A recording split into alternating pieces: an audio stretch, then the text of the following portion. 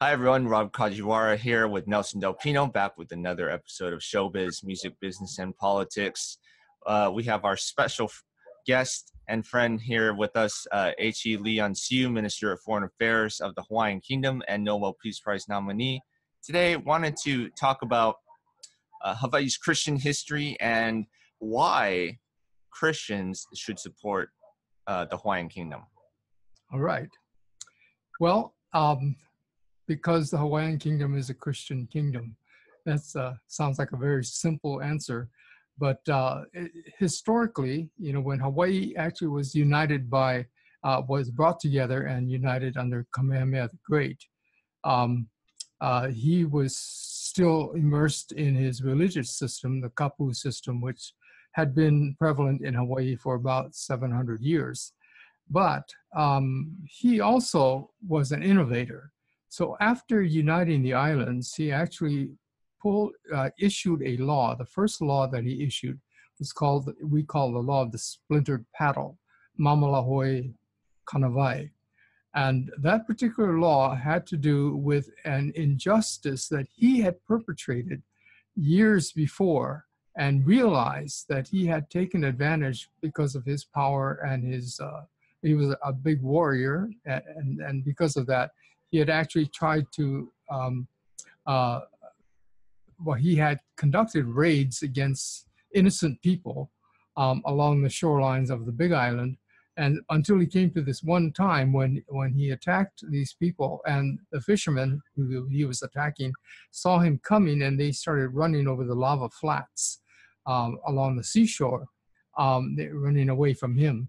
Uh, and he gave chase and he actually caught up with them or got, almost got them and but he stepped into a crevice in the rock and he got his his foot stuck fast so one of the fishermen turned around grabbed the paddle that Kamehameha had had dropped when he was trapped in the rock, and and he smashed Kamehameha over the head with this paddle, um, and the, the paddle splintered, and Kamehameha was knocked cold. So when he came to, and everyone was gone, there was nobody around, uh, and so he realized that. Um, well, later, in thinking about this, he passed a law uh, and we're talking about 40 years later probably, he passed a law called the Law of the Splintered Paddle, which basically guarantees the safety of anyone to travel with, with anywhere within the Hawaiian Islands uh, without being molested.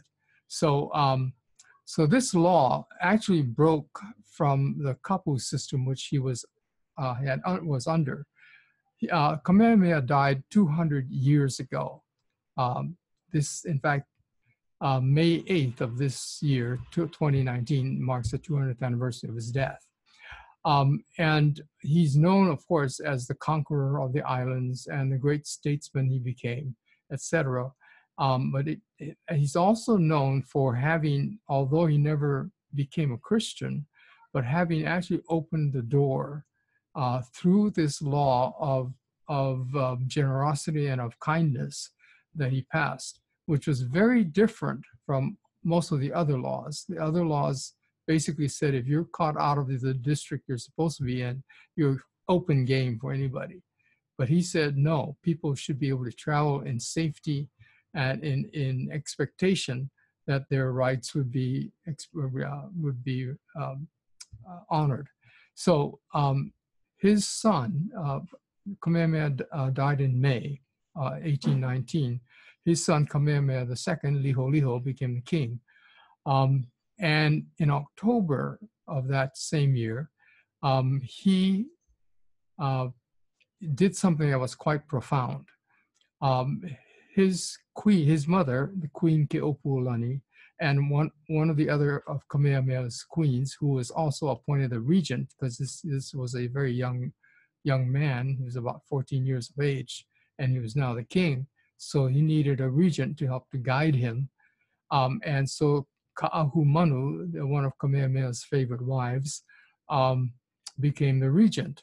Uh, and Ka'ahumanu and Keopuolani, as well as the high priest of the Kapu system, whose name was Hewahewa, conspired with, and, and basically they said, we need to get rid of this system.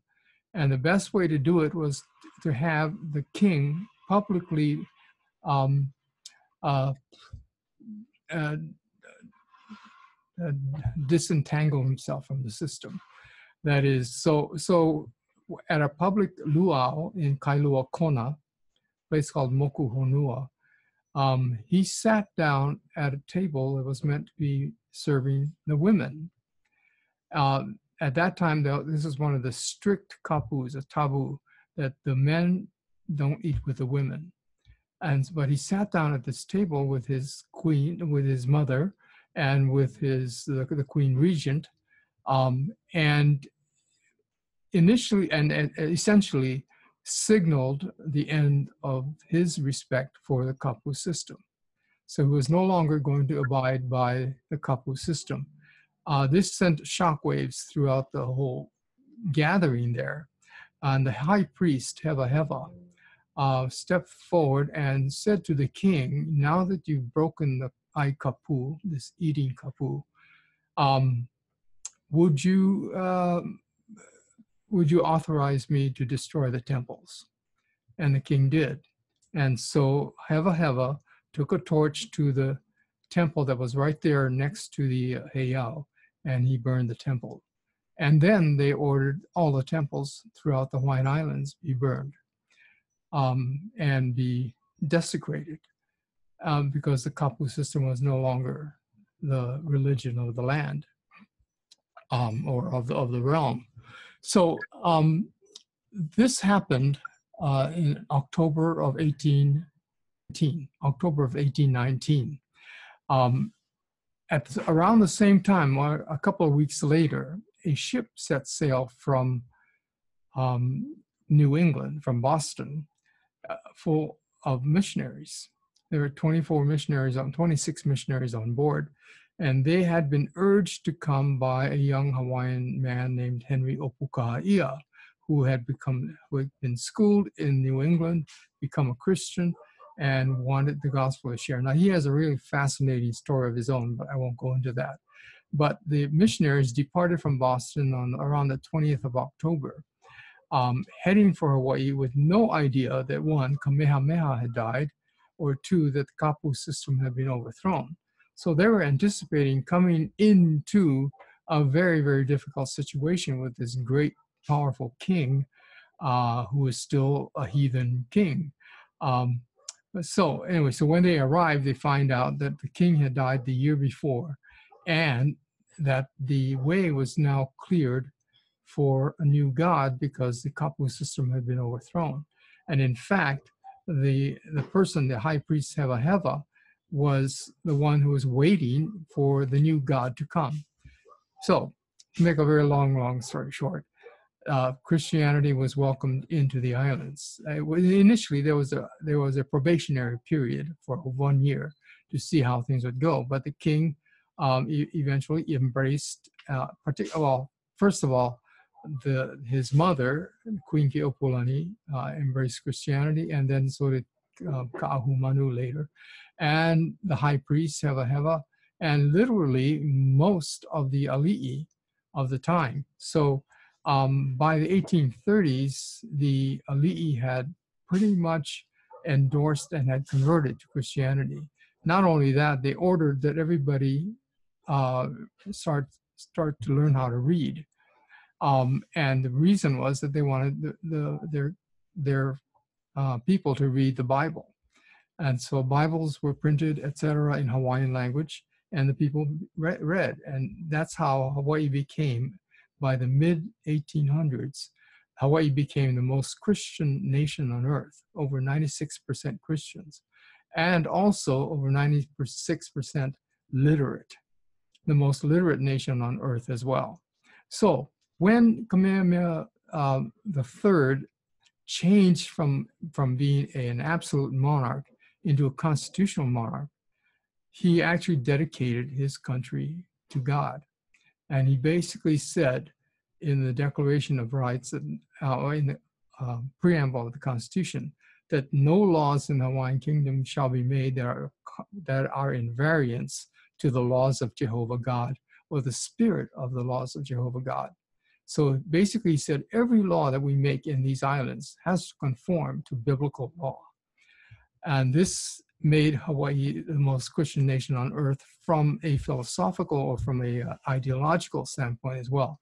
So Hawaii was a Christian nation, a decidedly Christian nation. And it was because it was a Christian nation that it avoided uh, becoming colonized by the European powers. Now, some of you may not understand that particular term, but uh, the, the word colonialism uh, had been uh, is is a uh, condition that was created by European countries who sought permission from the Pope, the Roman Catholic Pope, to seize lands that were inhabited by people who were not Christians, by heathens, Saracens, whatever. And basically, they're saying that, that these lands belong only to Christians. And so those inhabitants that are there um, don't really matter unless they convert to Christianity. And so the conversion to Christianity in Hawaii had been so profound and so sudden that there wasn't time to create a colonial situation in Hawaii. Hawaii became a Christian nation. So now the European nations had no excuse or no rationality or had no, no um, plausible uh, reason to uh, try to seize Hawaii and make it into a colony. And Kamehameha III, who had created this Christian or had endorsed Hawaii as a Christian nation, um, uh, sent his uh, emissaries to uh, the United States, to Great Britain, and to France. And basically saying, we want to be recognized as a sovereign Christian nation along with the rest of you. And so on um, the, the November 28th of 1843, um, the United Kingdom and the Kingdom of France, in a joint proclamation issued in London, uh, proclaimed the Hawaiian Kingdom as a sovereign state, a sovereign country, uh, on the same level as they, they are. So this basically uh, guaranteed or it, it, it provided a recognition of Hawaii's sovereignty on the same basis, the Christian definition of what a sovereign country is. So uh, Hawaii became a Christian nation. It became a recognized Christian nation um, by, by the mid 1800s. And that's how it flourished. So when we talk about the return of the Hawaiian kingdom, uh, we actually have a legacy to live up to, and that is that of a Christian nation. Very interesting. Thank you for that. We're out of time for today. If you like this video, please remember to give it a thumbs up. Please subscribe to our channel if you'd like to see more of our videos. Thank you for watching. We'll see you guys next time. Aloha.